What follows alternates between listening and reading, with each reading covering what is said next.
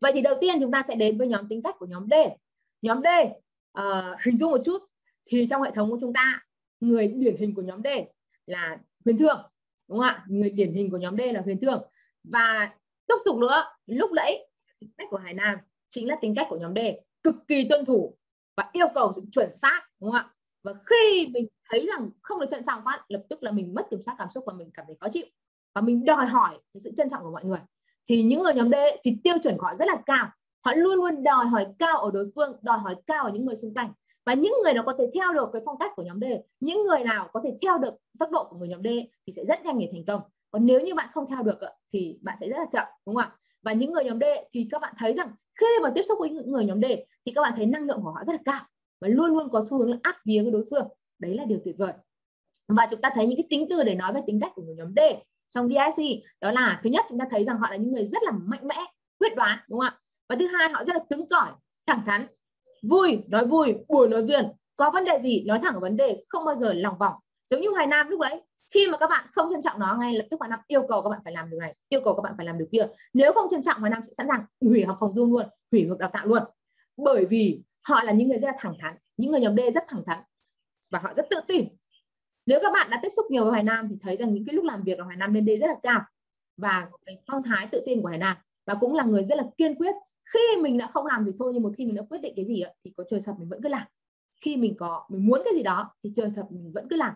Đó là lý do vì sao các bạn, nếu như nghe câu chuyện cuộc đời của Hải Nam thì sẽ thấy rằng khi mà Hải Nam bị cả nhà phản đối cái việc Hải Nam làm trong lĩnh vực bảo hiểm thì Hải Nam bất chấp tất cả, kể cả là bị đuổi ra khỏi nhà, vẫn cứ bám sát cái mục tiêu của mình, vẫn quyết định làm cái việc mình đã lựa chọn và nếu như các bạn tìm được những người nhóm D, thì các bạn sẽ phải tập trung vào kết quả mà họ sẽ đạt được, đúng không ạ? Và những người nhóm D là những người vô cùng kiên quyết và họ luôn luôn có xu hướng thích canh đua với người khác và luôn luôn phải vượt lên người khác, luôn luôn phải chiến thắng người khác và luôn luôn tìm cho mình những cái đối thủ để cạnh tranh và họ không bao giờ chịu chua thua cuộc.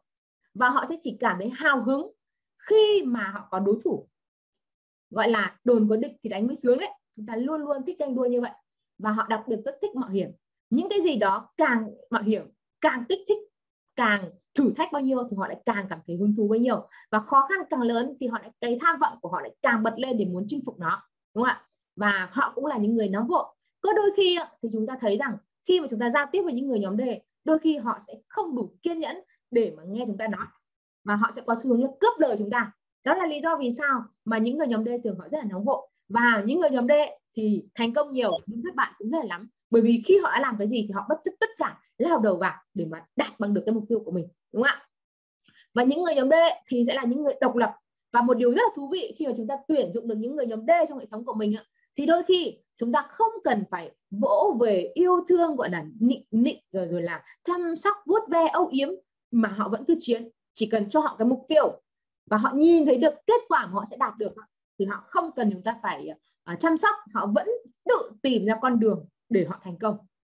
Đó là khi mà chúng ta biết cách tìm những người nhóm D và cái đồng đội của mình và những đội nhóm của mình. Khi mà chúng ta giai đoạn chúng ta cần phải chạy đua với đích để chúng ta đạt được cái, những cái con số mà chúng ta muốn thì những ngày người nhóm D sẽ là những người tiên phong họ vô cùng mạnh mẽ để đạt được mục tiêu của mình. Khi họ nhìn chính xác đích đến của họ là gì? Ví dụ là khi mà những người nhóm D họ nhìn thấy rằng à mình cần phải kiếm 12 người và mỗi người lên đến 400 CV thì mình sẽ có được phần thưởng là 1.500 đô. Và lập tức họ sẽ bảo, tìm 12 người, tìm 12 người 400 CV tìm 12 người 23 triệu, tìm 12 người 26 triệu. Và cứ thế là họ làm đi, họ tìm 12 người với 26 triệu. Thế thôi. Còn họ sẽ không thể nào mà tập đi vào những cái chi tiết mà dườm già là phải làm như thế này, làm như thế này, làm như thế này. Thì họ không sẽ quan tâm đến tiểu tiết. Họ tập trung vào mục tiêu của kết quả là nhiều. Đấy. Và họ những cái người nhóm D thì tất cả những cái nhóm D, I, F và C thì chúng ta đều có những cái điểm mạnh nhưng chúng ta cũng sẽ có những cái điểm yếu. Và khi chúng ta làm với những việc với nhóm D thì chúng ta phải chấp nhận một cái yếu tố đó là thường họ sẽ tập trung vào lợi ích cá nhân của họ. Họ sẽ tập trung vào lợi ích cá nhân và họ là những người vị kỷ bởi vì họ phải đạt được cái mục tiêu cá nhân của họ. Và mục tiêu cá nhân của họ luôn luôn được đặt lên trên mục tiêu của đội nhóm. Và đó là phong cách hành vi của người nhóm D. Và họ sẽ là những người hung hăng bất chấp nỗi sợ hãi hành động bất chấp sự không hoàn hảo, muốn lan hàng bất kể chuyện gì xảy ra. Họ luôn luôn thích quyền lực. Họ tham, có, họ có những, là những người có tham vọng rất là lớn. Nên là vì làm việc với những người tham vọng, nên khi chúng ta ở cạnh những người tham vọng như vậy, chúng ta sẽ bị cuốn theo cái nguồn năng lượng mạnh mẽ của họ. Và họ luôn luôn tập trung focus vào kết quả. Họ, và họ cũng là những người rất quyết đoán. Nói một là một, hai là hai. Họ rất khó để thay đổi cái lập trường của mình ấy nhưng mà cũng rất dễ từ bỏ khi mà cái mục tiêu của họ không đạt được. Ví dụ, khi mà chúng ta bắt đầu sự nghiệp, chúng ta chuyển những người nhóm D vào đội nhóm của mình, họ sẽ là những người vô cùng tiên phong, nhóm thống trị, nhóm tiên phong. Đấy. lúc đó họ thấy rằng à trong công việc là mình kiếm được tiền, ngay lập tức họ sẽ lao vào như một con tử thần họ chiến đấu điên cuồng để kiếm tiền. Nhưng họ là cái xu hướng là săn mồi. Vì sao? Khi mà bắt đầu họ nhìn thấy con mồi, họ sẽ bằng mọi cách để đạt được kết quả của mình. Họ là những người bán hàng đỉnh cao bởi vì khả năng bám sát con mồi, bởi vì khả năng bám sát đối phương. Giống như là khi chúng ta đi tán gái những người nhóm D phong cách tán gái của họ là họ sẽ tập trung toàn bộ nguồn lực vào lúc đó, cái đối phương, tức là cái mục tiêu của họ, nó sẽ, người ta chỉ nhìn thấy duy nhất cái mục tiêu của mình thôi.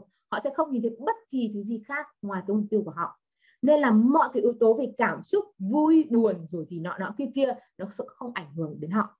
Mà việc của họ kể cả buổi sáng vừa mới ra khỏi nhà, cả nhà cãi nhau úm tỏi lên. Nhưng việc họ làm, họ vẫn cứ làm.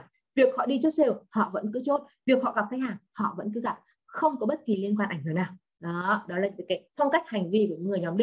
Và họ sẽ luôn luôn thích được làm, thích được chỉ đạo thích được lãnh đạo người khác, thích được áp đặt cho người khác và luôn luôn có cái xu hướng là áp đặt quan điểm cá nhân lên cái quan điểm của người khác. Đó là phong cách của những người thống trị.